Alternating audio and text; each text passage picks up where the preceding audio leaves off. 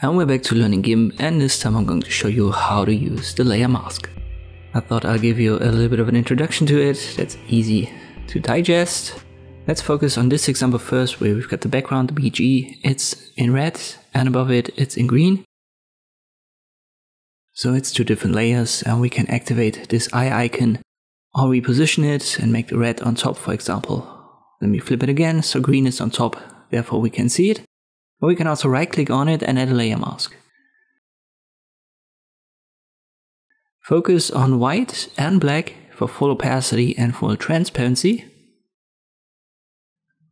Let us use white first. I edit and you can see that nothing has happened, but we have this white box now right next to the green layer icon. And this is our layer mask. So we can switch between the layer itself and the layer mask. We press Ctrl Z and now I add a black layer mask. Once again, we can switch between the layer and the layer mask. But now we only see the red, even though the green layer is visible. And it's because of the layer mask. If you give a layer mask to a layer and make it black, it's going to be fully transparent. So you won't see the actual layer. And the layer that's beneath is going to be shown. Let me use a brush, make it a bit bigger, and I use a hardness of 100%. And I make sure that I paint on the layer mask. So not the layer, but the layer mask. And if I now use a white color on a black layer mask, I can bring back parts of this layer, so in this case the green color, and I can switch the colors to black again and make the green color disappear.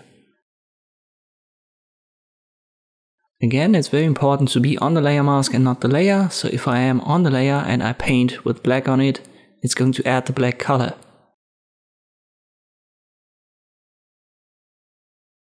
So that's not what we want. We want to be on the layer mask and then use the black color to conceal content of the layer. Let me delete the layer mask and I add once again a white layer and I paint with black on it and it's going to make it transparent and therefore we can see the red which is beneath the green. Let us look at an actual real life project or a use case. I've got an original photo and above it I've got the same photo in black and white.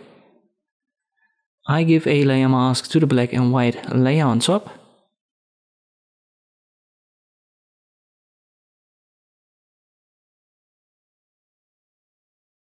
And in this case, let me start with a fully white layer mask, so nothing has changed.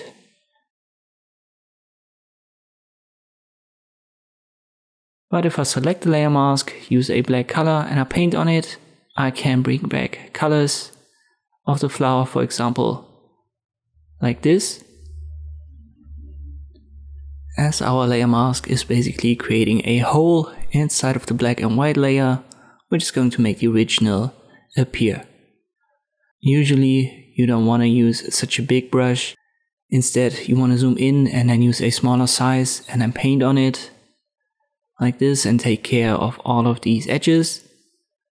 Once you've tried it a couple of times, you will notice that you always have to switch between black and white and paint on your layer mask whenever you stumble upon these little details that you have to correct here and there.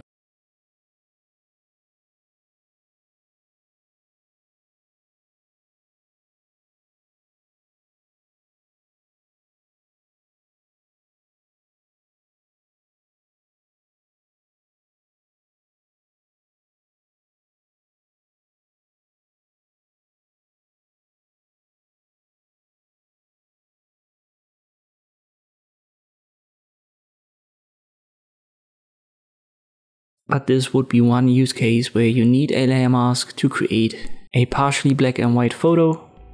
And this should be enough to show you the basics of using layer masks in GIMP. I hope this video was helpful, thank you for watching and I'll see you next time.